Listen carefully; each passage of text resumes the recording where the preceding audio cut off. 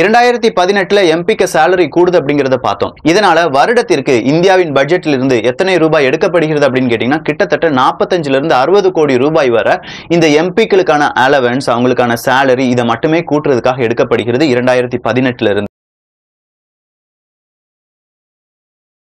இந்த கால்குலேட்டர் எடுத்து கையில வச்சுக்க. குட் ரெஸ்பெக்ட் உன் தகுதிக்கு நீ என்ன சம்பளம் எதிர்பார்க்கிற? ரெண்டாயிரம். காலையில டிஃபன் அஞ்சு ரூபா மத்தியான அளவு சாப்பாடு இருபது ரூபாய் ராத்திரி டிஃபனுக்கு மறுபடியும் பத்து ரூபாய் ஒரு நாளைக்கு முப்பத்தஞ்சு ரூபா ஆகுது. மாசத்துக்கு என்னதுன்னு கணக்கு போடு. ஆயிரத்தி ஐம்பது. ஆயிரத்தி ஒரு தடவை ஏதோ பயன்படுத்திக்கலாம்.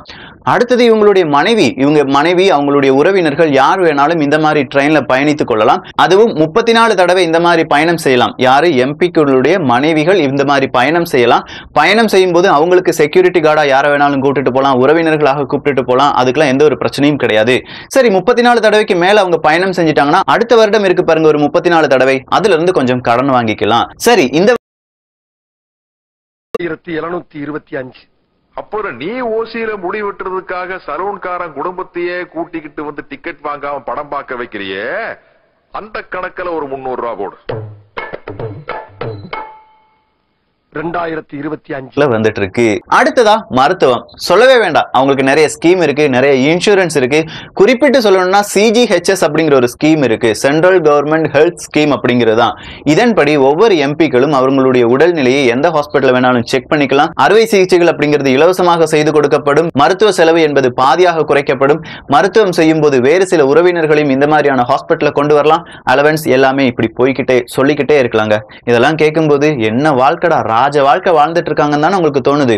அடுத்ததா ஒவ்வொரு வருடத்திற்கும் இவங்களுக்கு லேப்டாப் கம்ப்யூட்டர் அப்படி ஏதாவது வாங்கிக்கலாம். அதுக்குன்னு ஒரு ஒன்றரை லட்சம் கேட்டீங்கன்னா ஒவ்வொரு எம்பிக்கும் ஒரு வருடத்திற்கு நாலாயிரம் கிலோ லிட்டர் தண்ணீர் என்பது ஃப்ரீயா இலவசமாக கொடுக்கப்படுகிறது. ஐம்பதனாயிரம் யூனிட் மின்சாரம் என்பது ஃப்ரீயாக கொடுக்கப்படுகிறது. அதுவும் வெறும் இலவசங்க வேற எந்த தொகையும் கொடுக்க வேண்டாம். அவங்க பில்ல கூட காணிக்க வேண்டாம். ஐம்பதனாயிரம் யூனிட் அப்படின்னு சொல்லும்போது நம்ம வீட்ல எல்லாம் சாதாரணமா கரண்ட் எவ்வளவு யூனிட்ல வருது அப்படின்னு கேட்டீங்கன்னா இருநூறு யூனிட் இருநூத்தம்பது யூனிட் மேக்ஸிமம் அவ்வளவுதாங்க வருது. ஆயிரத்தி ஐம்பது.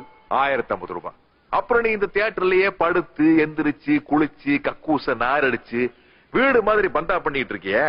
வீட்டு வாடகைங்கிற வகையில ஒரு நானூத்தி இருபத்தஞ்சு ரூபா போடு. ஆயிரத்தி நானூத்தி எழுபத்தி அஞ்சு.